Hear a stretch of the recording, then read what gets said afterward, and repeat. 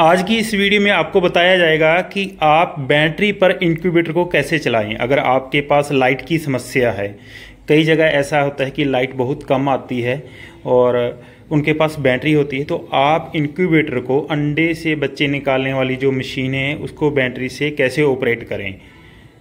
हमारे पास एक, हमने ये देखो, छोटा सा एक इन्वर्टर बनाया है। जो डीसी टू एसी मतलब बैटरी के करंट को एसी के करंट में कन्वर्ट कर देता है।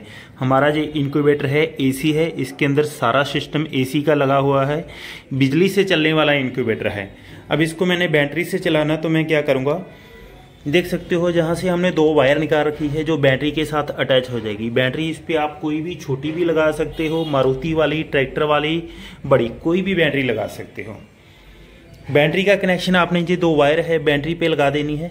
उसके बाद जे इस बैटरी के करंट को कन्वर्ट कर देगा एसी कन्वर्ट के अंदर। दिखा देता हूँ आपको मैंने, जहाँ से मैंने ऑन किया। इसको जैसे ही मैंने ऑन किया, आपके सामने जो इंक्यूबेटर है, वो ऑन हो गया।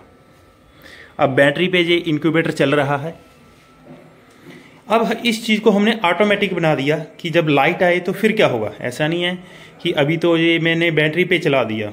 अब जब लाइट आएगी तो आपको कोई तार नहीं बदलना। ऐसा नहीं है कि आप वेट करते रहोगे, कब लाइट जा रही है, कब आ रही है, इसकी तरफ़ आपने बिल्कुल ध्यान नहीं देना।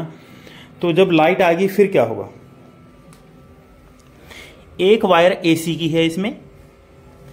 ये हमारा सिर्फ़ कन्वर्टर नहीं है, ये ऑटोमेटिक कन्वर्टर है। ये लाइट से भी चलता है और बैटरी से भी चलता है। अब एक इसकी ये प्रेस वाली लीड देख सकते हो आप। ये मैंने यहाँ पे लाइट पे लगा दी। और ये बैक साइड पे मैं दिखा देता हूँ आपको। जैसे ही मैंने इसको लाइट पे ऑन किया तो जो हमारा इंक्यूबेटर है, वो लाइट पे ऑन हो गया। अब बैटरी का जो कनेक्शन है, वो कट चुका है। हमारा अब इंक्यूबेटर है, वो लाइट पे चल रहा है। तो इस तरीके से आप किसी भी इंक्यूबेटर के को बैटरी और लाइट दोनों से ऑपरेट कर सकते हो। एक छोटे से कन्वर्टर की सहायता से। इस कन्वर्टर की में अगर मैं कीमत की बात करूँ तो बारह सौ रुपये इसकी कीमत है। बैटरी और लाइट दोनों से ऑपरेट होगा। इसके अंदर ऑटोमेटिक रिले लगा हुआ है। जैसे ही लाइट आएगी, ये लाइट पे ऑन होगा।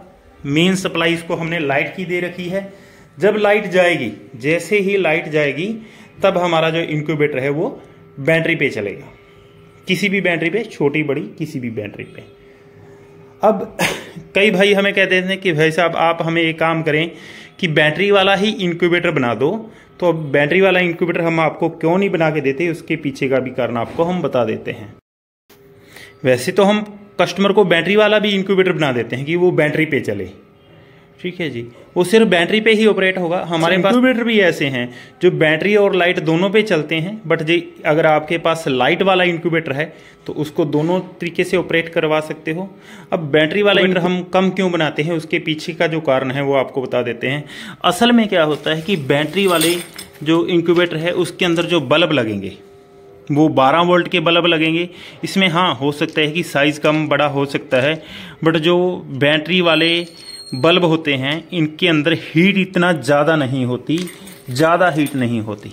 अगर हमारा बॉक्स का साइज़ बड़ा है बॉक्स का साइज़ बड़ा है तो ये बैटरी वाले जो बल्ब हैं, वो पूरी तरीके से सर्दी के अंदर। गर्मी में कोई दिक्कत नहीं है, सर्दियों के अंदर इसमें हीट नहीं कर पाएँगे, इसलिए सिर्फ़ बैटरी पे चलने वाला इंक्यूबेटर है, वो ज़्यादा कामयाब नहीं होता।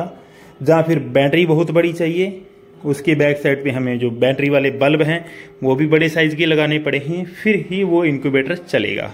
इसलिए हमने जो लाइट वाला ही इंक्यूबेटर बनाते हैं लाइट और बैटरी दोनों चलने वाला भी बनाते हैं।